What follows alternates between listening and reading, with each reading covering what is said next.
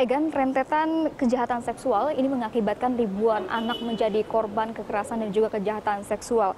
Data Komnas Perlindungan Anak, sejak 2014 terdapat ribuan kasus kekerasan terhadap anak, yaitu sebesar 52 persen adalah kejahatan seksual. Dan berikut adalah kami tampilkan data-datanya.